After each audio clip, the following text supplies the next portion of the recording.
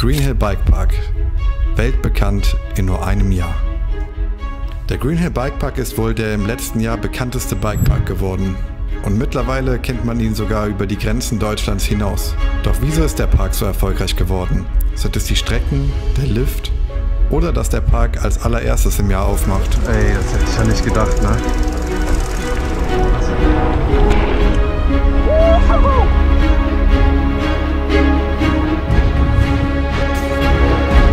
Jo Leute, was geht ab? Herzlich willkommen zu einem neuen Video. Ich bin heute am Green Hill Bike Park und der Park hat jetzt ungefähr so etwas mehr als ein Jahr geöffnet und irgendwie scheint den Park ja tatsächlich die ganze Welt zu kennen und irgendwie hat der Park wohl einiges richtig gemacht.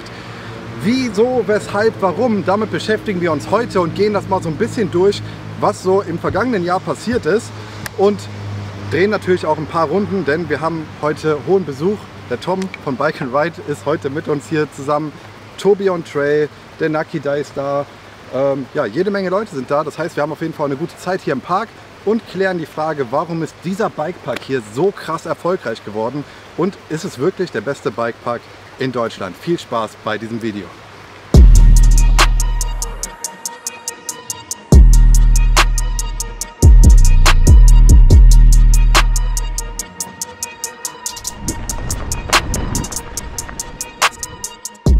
Als ich das erste Mal auf den Park aufmerksam geworden bin, war ich gerade auf dem Rückweg vom Bikepark Willingen und habe die Strecken gesehen und dachte mir, hä, bauen die da gerade eine Motocross-Strecke? Aber nein, es waren tatsächlich Mountainbike-Sprünge. Und das war mein erster Berührungspunkt mit dem Green Hill Bike Park. Anschließend war ich auch ziemlich früh dann im Bikepark, nachdem er eröffnet hatte, um ein Video zu drehen und um sich das Ganze einmal anzuschauen. Ich muss sagen, der Park hat schon was ziemlich Besonderes. Wie der Park gebaut ist und die Atmosphäre hier, das ist schon ein bisschen anderes Feeling als zum Beispiel im Bikepark Winterberg.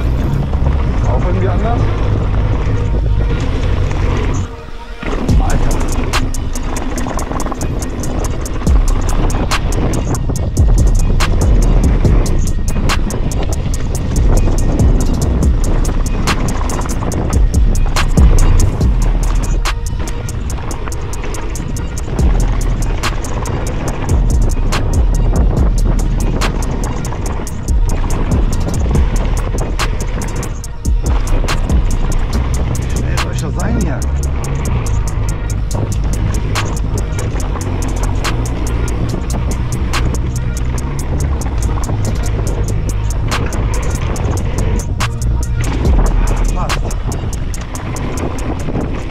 Mich persönlich ist der Green Hill Bike Park sehr attraktiv, weil er nur anderthalb Stunden von mir zu Hause weg ist. Und ich fahre nicht so gerne lange, weite Strecken in Parks, weil ich dann schon irgendwie fertig bin, bevor ich überhaupt da bin. Aber ich habe an diesem Tag ein paar Leute mal gefragt, warum sie überhaupt gerade im Green Hill Bike Park unterwegs sind.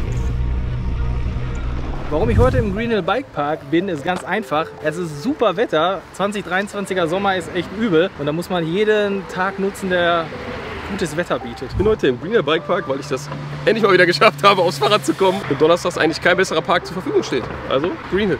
Ich bin heute im Green Hill Bike Park, weil ich donnerstags nichts Besseres zu tun habe und das Wetter wunderbar ist.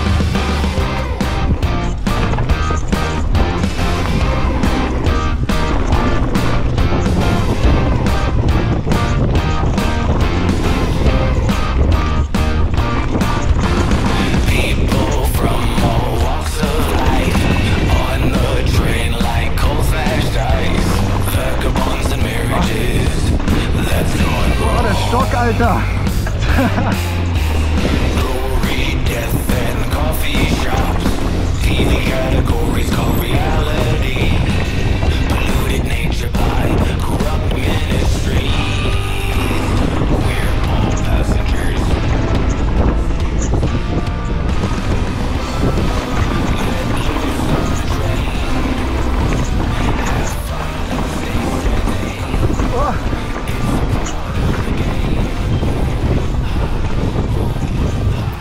für mich den Green Hill Bike Park sehr besonders macht, sind in erster Linie die Strecken. Man hat von allem hier wirklich etwas. Das Einzige, was vielleicht fehlt, ist wirklich so eine richtig schnelle, schöne Downhill-Line, weil die Enduro-Strecken halt doch, naja, zumindest für mich auf jeden Fall nicht wirklich schnell fahrbar sind. Und was dazu kommt, ich habe so das Gefühl, dass der Park von Anfang an ziemlich viel richtig gemacht hat. Es ging schon los mit dem Social Media Auftritt, bevor der Park überhaupt auf hatte. Dann gab es so ein paar Influencer, die schon vorher die Strecken besichtigen durften und, und, und, und, und. Außerdem wurde sozusagen das Easy Loop System, zumindest für mich, erst durch diesen Park wirklich bekannt, zumindest was Deutschland betrifft. Aber genug von mir, ich habe auch hierzu ein paar Leute befragt, was sie glauben, was den Green Hill Bike Park so besonders macht. Jede Menge neu.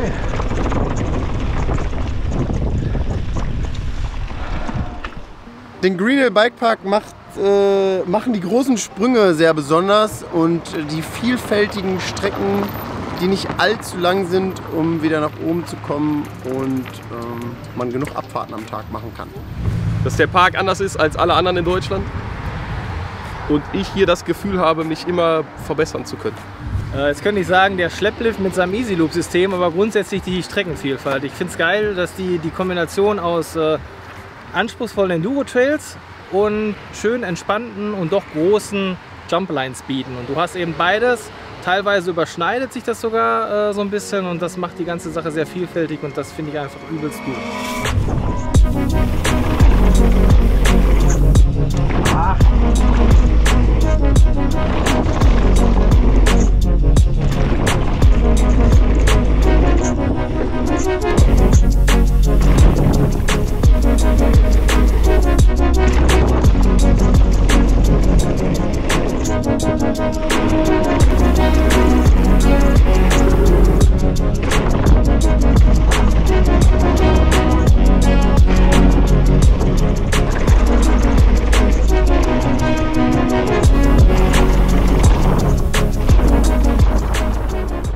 Jetzt haben wir jede Menge Sachen gehört, die den Green Hill Bike Park besonders machen und was hier richtig, richtig cool ist. Aber kann der Bikepark auch irgendetwas in Zukunft noch besser machen? Was könnte der Bikepark Green Hill noch besser machen? Das mit dem Ticketverkauf und Einlösen, da hast du teilweise, wenn es voll ist am Wochenende, eine sehr lange Schlange. Und vielleicht den Lift irgendwie umgestalten, weil da stehst du auch schon, wenn es voll ist, extremst lange dran. Sonst ist natürlich nichts dagegen einzuwenden, noch weitere Strecken hinzuzuführen, wie die Söldenline, die wahrscheinlich nochmal überarbeitet wird. Ja, sonst ist es schon ziemlich nah am Optimum dran, muss ich sagen. Ja, ist schwer zu beantworten. Also den Park gibt es jetzt ein bisschen länger als ein Jahr und irgendwie haben die alles richtig gemacht. Jetzt seit einem Jahr, muss ich ganz ehrlich sagen. Ich meine, dass schon äh, das Nines Festival hier kommt, zeigt ja, dass die eigentlich alles richtig machen. Also ich finde, die könnten die grüne Wiese wieder zum Campen öffnen. Das wäre mein Wunsch.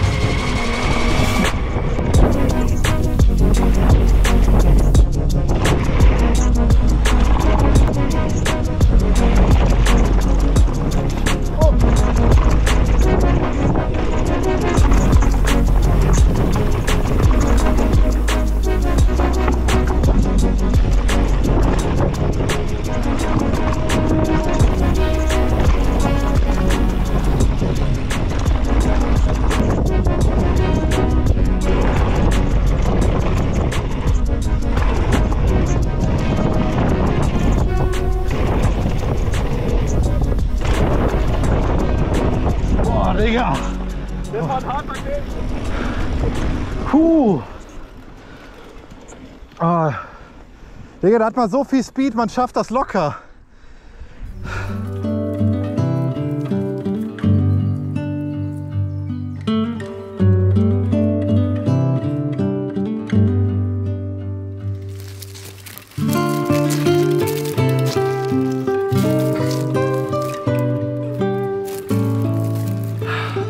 Leute, der Tag ist vorbei. Wir hatten eine schöne Zeit hier im Green Hill Bike Park heute. Sonne geht langsam unter und wir haben ein paar Leute gehört, warum sie denken, dass der Green Hill Bike Park so erfolgreich ist. Ich möchte allerdings auch noch natürlich meine Meinung sagen. Und ich glaube, es ist das Zusammenspiel aus allen Dingen. So ist es ja ziemlich oft im Leben. Meistens ist es nicht eine Sache, die irgendwie den großen Erfolg bringt, sondern die vielen kleinen Dinge, die man richtig gemacht hat. Davon habt ihr jetzt einige gehört und vielleicht ist das Inspiration für einen anderen Bikepark oder vielleicht ist das auch Inspiration für euch persönlich zu Hause. Denn dieses Learning, was hier jetzt gut funktioniert hat mit den vielen kleinen Steps und den vielen kleinen Dingen, die richtig gut gelaufen sind, vielleicht könnt ihr daraus was für euch persönlich mitnehmen und das in euer Leben so implementieren. Zum Beispiel beim Mountainbiken ist es genau das Gleiche. Ähm, immer kleine Steps, Baby Steps. Manchmal ist dann auch mal ein großer dabei, wenn man dann, wenn es endlich Klick macht und es geht voran. Aber man wird nicht von heute auf morgen irgendwie Profi und es braucht einfach Zeit. Nichtsdestotrotz fette Props an den Green Hill Bike Park, was die in einem Jahr gerissen haben. Meine Theorien habt ihr gehört, die anderen Theorien auch. Und ich denke, das Geheimnis weiß der Green Hill Bike Park vielleicht einfach auch nur selber. Ich glaube allerdings, dass ein ganz großer Teil einfach wir alle sind, die Community auch. Denn ohne uns funktioniert das ja nicht, genauso wie dieser Kanal nicht funktionieren würde ohne euch. Und deswegen großes Dankeschön auch nochmal von meiner Seite aus an alle, die ähm, ja, mich supporten, an alle, die diesen Sport supporten. Und in diesem Sinne, Leute, verabschiede ich mich für heute. Lasst gerne ein Abo da. Wir sehen uns in den nächsten Videos. Bis dahin, macht's gut. Ciao, ciao.